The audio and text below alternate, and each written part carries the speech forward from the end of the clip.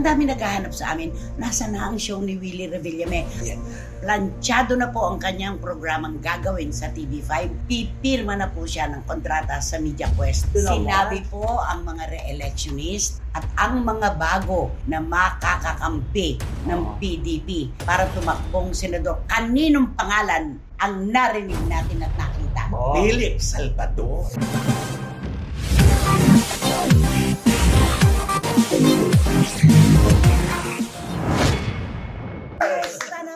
Kayo mga minamahal namin kachika, hindi na po ang sobrang alinsangan ng problema namin ngayon sa Pilipinas. Pati po ang paglaganap ng brownout dahil nasa yellow at red alert na po ang buong bansa. Itatawid po namin itong episode na ito. Ano man ang maganap. Tama, Romel? Tama, maliwanag man o madilim, basta ang kwento, punong-puno at busog na busog. Buhay na buhay. Correct! At syempre, naku, ang kapal pa naman ng damit mo. Wendell Alvarez, a.k.a. Barikutot. Siyempre, ano man ang init na ating nararamdaman, na ramdam nyo rin ang aming mga showbiz chika at showbiz intriga at siyempre ang amin mga opinion. Ayan. At maraming salamat po mula sa aming tatlo sa buong produksyon ng Showbiz Now na, lalo na kay Direk Tom Nava, dahil meron po siyang nakahanda na power box, kaya na ituloy po namin ang episode na ito. Ayan. Basta laban tayo, lalaban tayo, laban tayong lahat dito sa inyong programa, ating programa. At ito po ang Showbiz Now! Now! Wow, energy! Oo, oo. Niyo po, napakainit po ng ating klima. Bipolar po ang klima ngayon. Pero, sing-init din ang ating mga kwento, of course. Ah, yes. Kaya itatawid sa inyo. Ang unang-una po, ang dami naghahanap sa amin, nasa na ang show ni Willie Revillame.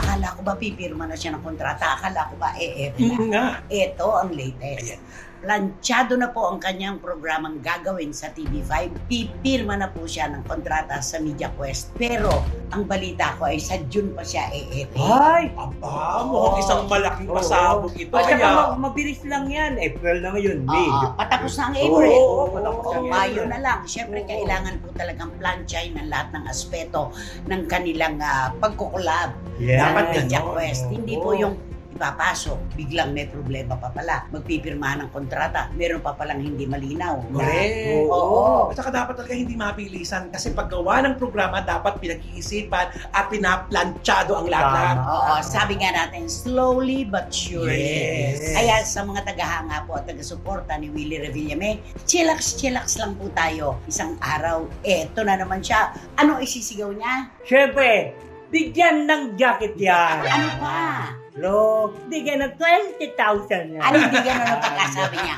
20,000. 20,000. Pag gumagano yung mukha niya, ganun. Uli, bigyan ng jacket yan. Bigyan ng jacket yan at bigyan ng 20.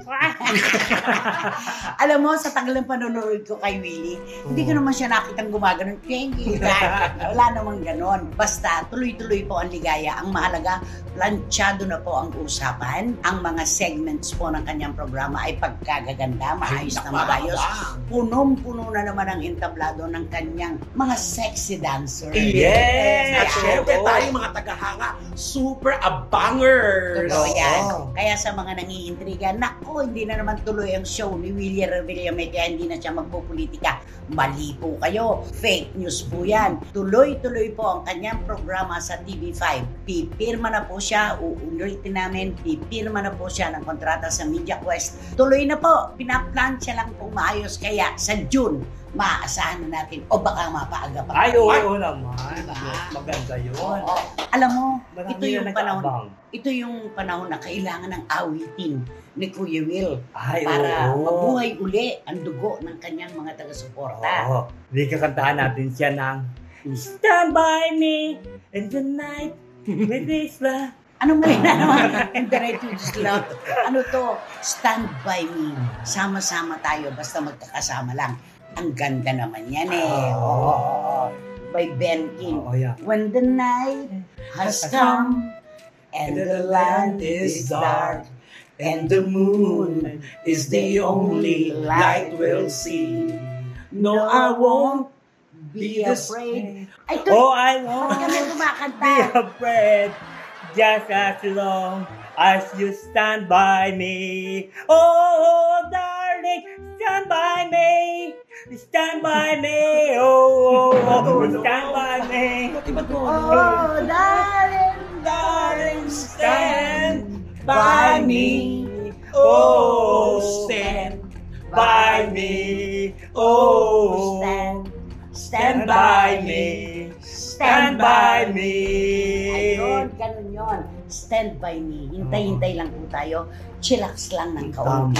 Thank you, Ali. At makikita po natin, eto na ulit si Willie Revillame.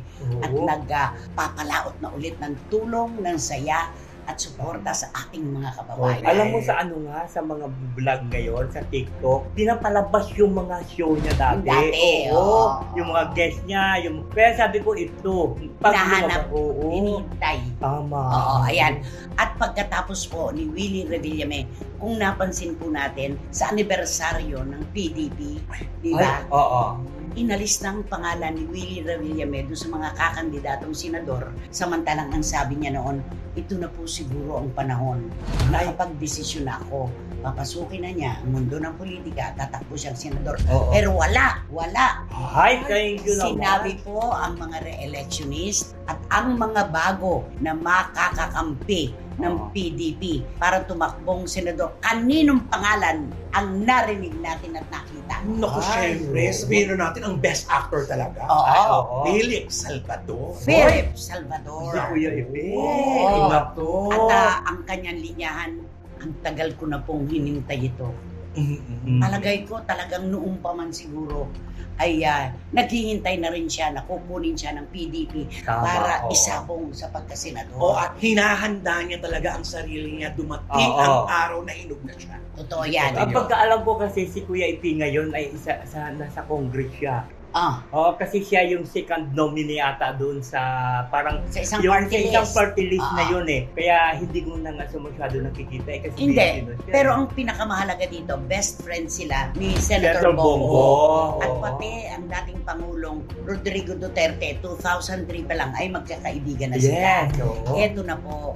Dahil syempre, alam niyo naman po ang laro sa politika. Kapag maaga ang deklarasyon, maaga rin ang Ang- bashing. Maagang Ang- siraan. ang- Oo, ang pagkahanap po ng butas. At kapag walang nakitang butas, gagawa ang kanyang mga detractors para sumilip at Ay, butasan siya. oo. Ganyan sa politika. Tama. Walang makakaiwas sino man na pumasok sa Tama. politika. Lahat ng Oo. hindi natin makakwentong alam maglalabasan. Lalo na sikat na aktor, si Philip. Yes. Oo. Ano nga ang sabi ni, ni Kuya Epe? Hindi po ako abogado. Abogado. Hindi po ako doktor. Hindi po ako engineer. Oo. Pero ako po ay artistang handang maglingkod sa inyo mga kababayan ko. Ang linyahan! Ay, galing. Di ba naman? Ayan. At dahil nga po, nadeklara na siya, tinanggap po niya ang nominasyon ng PDP bilang panlabang senador. Eto na. Ano-ano ang mga nababasa mo? Naku, eto na. Ay, na. Paano ka magiging mga leader ng bayan kung ang sarili mong anak hindi mo sinustentuhan? Si Ay, Josh. oo. Oh, ikaw naman, ano yung nababasa mo? Ay di syempre, eh, yung ano, yung Ano? sinasabi na puro na sa takbo noon. Tapos sabi niya, Sa Bulacan, Oo, tumakbo siyang tum- vice puro sa takbo, governor. tapos tumakbo doon siya sa, Sa Mandaluyong. pinakamataas Ngayon, pinakamataas na posisyon. At saka bakit pa Oo. siya tatakbo bilang senador ngayon eh, hindi ka nga nanalo Oo, yun. sa Mandaluyong at saka sa, Sa Bulacan. Alam niyo po, ganitong ganito po ang narinig natin nung eleksyon nang tumakbo si Senator Robin Padilla. Oo. Minaliit, pinaglahi, pinintasan, at kung ano-ano pa po ang binato kay Senator Robin Padilla, ano po ang naganap nung magkabilangan na. Number one. Kaya huwag po nating. Mamaliitin. Huwag nating mamaliitin si Philip Salvador kasi malay natin baka ang kapalaran ni Robin ay maging Ay, kapalaran oo, din tama. niya. Diba? Kaya Yan. wait lang tayo. Okay. At So, saka eh, alam mo si Kuya Ipi, tingin ko talaga man na magaling ang PR nito eh. Mhm. Believe ako sa PR nito. Talagang Okay. Ano siya, magtulungin siya eh. Mhm. Kahit hindi nga kilala, tinutulungan niya eh. Okay, Oo. yan ang sinasabi ni Wendell. Kasi dati lagi silang magkasama. Oo. Ay, Oh, Saan pero ba? hindi na. Hindi na ngayon, Matagal hindi na na. panahon nang hindi na. Ay, nagbago Mga- na. mga for 3 to 4 years Ay, na. ago. Exacto. Ago. Eto naman po, okay, pinapakinggan po namin yung inyong komento na, eh kung si Joshua nga Hmm. hindi mo sinusustentuhan, Oo. ito pa kayang Republika ng Pilipinas Mm. ang makaya mong tulungan at suportahan. Marami po tayong kwento na hindi alam tungkol kay Kuya Ipe at kay Chris Aquino at kay Joshua. Mm. Oo. Hindi po yan lantad sa publiko pero alam po namin at siguro nga po kapag ka talagang malapit ng eleksyon sasagutin isa-isa ni Kuya Ipe yung mga ibinabato sa kanya. Naku. Wow, Diba? maganda yan. Excited ako dyan pag sa kanya na mismo manggagaling yung mga Oo.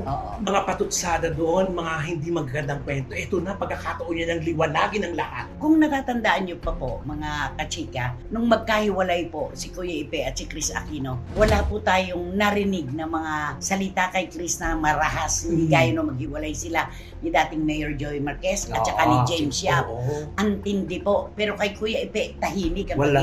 Oo. Wala siyang sinabi na deadbeat father, na walang sustento kay Mm. Diyos. Wala pong mga ganon. Bakit? Kasi po, nung mga panahon na yon, may pera si Kuya Ipe. Ah, Meron oo siyang pera. Hindi siya po pwedeng aglahiin ng kampo ni Chris Aquino. Naalala nyo, di ba pag gumagawa ng pelikula mga artista, meron sa kontratang nakasaad na ang TV rights akin. Ay, oo. Di ba? May Tama. ganon. Oo, oo. May ganun yun. May ganyan. Ako ang may karapatan na magbenta ng kopya sa mga TV stations. Ganyan. Oo. Oo. Kay Kuya Ipi yun. Nasa kanya yon. Kasi na Senator Bong Revilla, kanila yon. Nung nagsasama na sila ni Chris Aquino, ibinenta niya yan sa isang network. At umabot ng 35 million plus. Oo, mahal Yan yan. Oo. Eh, Mahal grabe yan, oo. mga TV rights, di ba? Laki Malaki.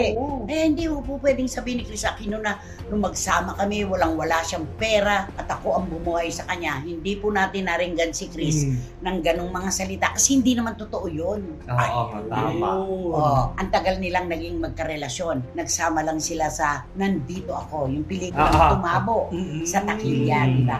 Hanggang sa naging magkarelasyon sila. At si Chris Aquino at si Kuya Epe ay naging magkarelasyon at tinanggap ni Chris yung hamon ng kanyang pamilya. Papayag siya na siya itakwil. Oo. Papayag din siya na huwag makatanggap ng mana dahil kay Philip Salvador. Ah, grabe yun po yun. mamahal niya. No? talaga. Yes, oo. Meron po kaming alam na kwento tungkol sa pagkapanganak kay Joshua. Siguro po, gusto namin talagang sabihin tatlo ngayon. Pero mas maganda kung direct from the horse's mouth natin maririnig. Mm. Diba? Oo. Kung ano ang unang sapok na naramdaman Hmm. ni Kuya Ipe sa pamilya ni Chris Aquino nang dahil kay Josh. Ay.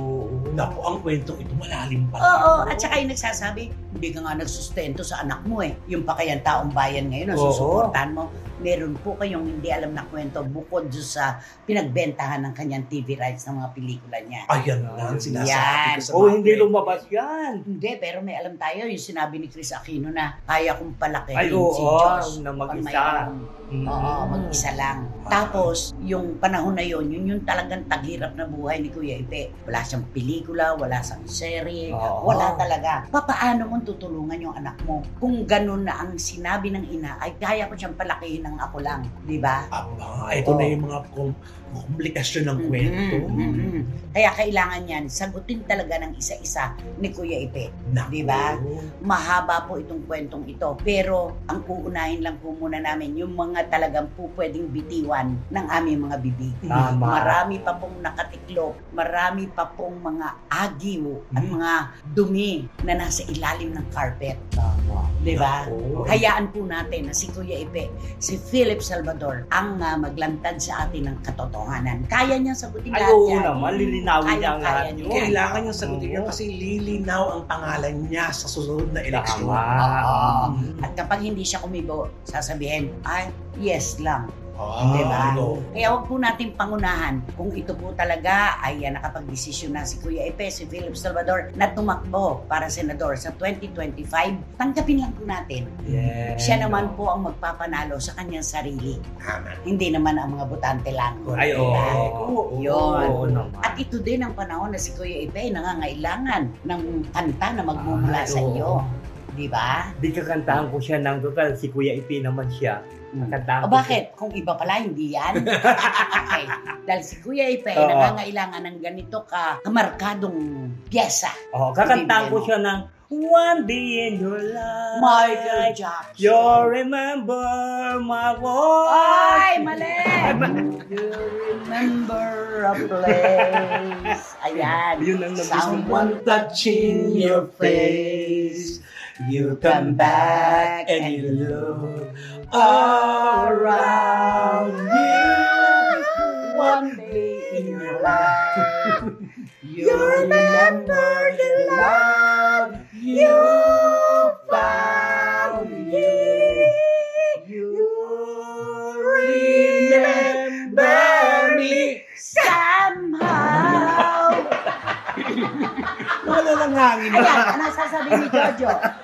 Leslie Grace at Vincula, ang mga musikero nating SNNers. Oo. Tumirada ka na naman ang wala sa tono. Ayan, salamat Ali. One day in your life. Oo. Diba? Yun yun eh. Basta, hintayin po natin kung ano ang magiging ah, sitwasyon sa mga darating pang mga panahon. Basta ang alam ko, nakahanda si Kuya Ipe na mabugbog, magpabugbog sa ngalan ng katotohanan. Pero Ayan. tandaan nyo, ang artista laging bida, nabubugbog yan sa umpisa. Yes. Papawi sa dulo. ay no, Ay, eto yun. Kaya nga, bida, laging buhay sa dulo. Correct. Yan yun. Bugbugin nyo na ng bugbugin. May pag-asa pa rin. Nakatayo sa Yes. huling frame. Oo. Tama. Balweg. Di ba siya si lahat, Balweg? lahat ng pelikula Oo. niya. O, lahat ng pelikula niya, di ba? O, lahat. Babanggitin pa ba natin isa-isa? Ang haba Ang na. Okay. At heto naman po ngayon. Nako, stand by me. Sabi nga ni Barikutot kanina, kayo po, you all stand by us. Maraming salamat po sa inyong suporta at pagmamahal. Titong Manny Garcia and Tita Norsky, mula noon, gasgas na ang aking linya. Maraming salamat hanggang ngayon. Boy si Karagay. Maricho Formation Espiritu. Tita Julie Paras, Jojo and Leslie Grace Advincula and Mama Noemi. Tito Abel ang tita Nini Olanday. Freely and Lara May Abrigo. Eddie Letada. Huwag kayong ano-ano Hmm. dyan. Dribble and Mama Lota. Shawnee Sebastian. Dan Clevesillas and Mama Cel. James Vincent Navarrete and Mamadang, salamat po. Direct Franny Zamora. Of John, course. John and Ching Bautista Silverio. Si Rose Pufunan at Oh. saka ang kanyang apo na si Yana. Tutok na tutok po sa SNN. Showbiz na. Gumagano'n si Yana. Salamat sa inyong malayo ang suporta. Randy Balaguer, Mark Valencia, and Mama Lydia. Mahigpit na yaka po ng pagmamahal kay Mama Lydia. Mahal po namin kayo at mag-iingat palagi. And of course, ang ating mga ninang. Siyempre ang ating ninang Tita Florisada at Ninang Litlit Kukabo. Of course naman, ang ating Reyna at Rampadora ng Sydney. Miss Catherine Amos. Tito Jerry and Kenzo Bongbong. Bago mo pa ako ganyanin, may isa pa. May isa si pa. Tigo. Siyempre, ang the most generous at ang the most ninang of all time, Dunya Lili Chua. Tito Henry and Tita Lily Chua, maraming maraming salamat Thank you po. po. Burn out ngayon. Mm. Kailan pa yan? Kailangan ng generator. Kailan pa ba? Kailan ba? Generator. Ayan, okay. Maraming salamat po mula sa puso naming tatlo at sa buong produksyon. Eto na, sino ba kasi yan? Sino ba yan? Sino nga ba yan? Sino ba yan? Wow. Naku, itong pag-usapan natin. Isa siyang sa female personality. Okay. Sikat siya. At may kasama din siyang isang female personality rin na sikat din. Ay, Pero pareho sila Parehong silang sikat. female singer. Oo, female singer, actress. actress ba? Ay, female na, the actress talaga. Alam na mga actor. Okay, go. Nako, ito yung kwento. Hmm. Alam mo ito, nung mabalitaan na magsama ang dalawa sa isang konsyerto, maraming humanga. sa Ma- ibang bansa. Maraming. Oo. Kasi di ba, ang dalawang Magagaling naman magagaling talaga kumanta, sila. ang dalawang sumikat, ito na ngayon. Di syempre, pinaghahandaan yun, ang daming paghahanda. Siyempre, ng hanggang, hanggang nga makalipad sila. At makarating sa Oo, bansa. sa lugar na yun na kung saan sila mag-concerto. Mm. Di siyempre ang lahat doon, siyempre talagang abala sa paghahanda, ganito, ganun. Siyempre, pati stage, sininspeksyon yan ng isang female personality na kasama ng sikat na female personality. Siyempre, nag-check-in muna. Oo. Iiwanan muna yung mga Oo, maleta siyempre, nila. ga- galing sa airport, pupunta muna ng Hotel. ng hotel. Tapos, siyempre, i-ocular nila yung mga ano, Yung venue. venue, tapos siyempre yung mga sound, Musikero. mga i-check, mga ganito Okay. ganon, ito Ah. na. Nagulat yung is, ang female singer, Singer. number two. Ah, Oh, Okay. nagulat siya. Kasi sabi niya, nung unang ocular, sabi niya, bakit parang hindi ko man nakita yung kasama ko rito? ah. Sino kaya ang magiging kasama ko dito sa konsyerto? Bakit ako lang mag-isa ata ito mag-rehearsal? Ay, ang singer actress Oo. one. Yung one, oo. Hinahanap niya. Sabi niya sa, Uy, sabi niya, hanapin niyo nga muna yung ano. Kung nasaan siya. Oo, kaya eh, paano tayo magsisimula nito eh kung wala siya. Rehearsal ito. Rehearsal ito eh. Di, ito na. Hinahanap, hinahanap. Hindi makita. Sabi na, ma'am, hindi namin mamakita eh. Oh, wala. Ay, wala siya. Hindi namin, parang hindi rin siya nag-almusal eh. Kasi di ba sa hotel may breakfast yun eh. Oo. Sabi niya parang hindi rin siya nag-almusal. Hindi namin siya, baka nasa kwarto. Hindi baka na natutulog nanghali. pa.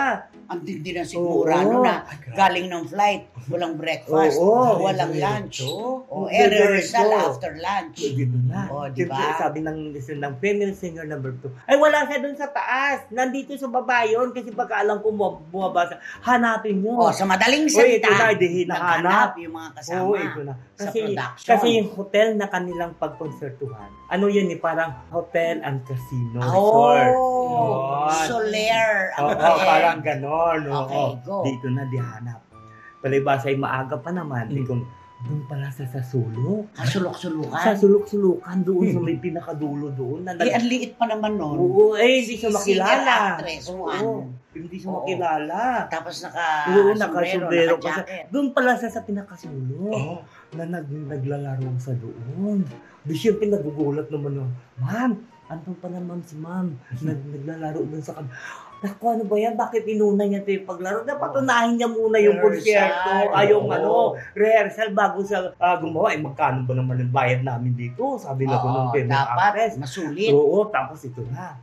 Di, sabi na, nag-dialogue yung female singer number two. Sabi niya, Naku, pagka ganitong sitwasyon, hindi na hin... Ayaw na ayaw ko na magiging kasama Never ito. again. Never again, sabi niya. Oo. Pero iba sa kanya pa Oo. nang galing yun. Walang Oo, rehearsal. wala. Eto Oo. na. Ay, ito na Show ngayon. proper. Ito na, nag-show proper na ngayon. Di ba? Siyempre, wala, walang rehearsal yan. No? Puro mas magaling siya sa kanya. Pagdating sa show proper, nilamon siya.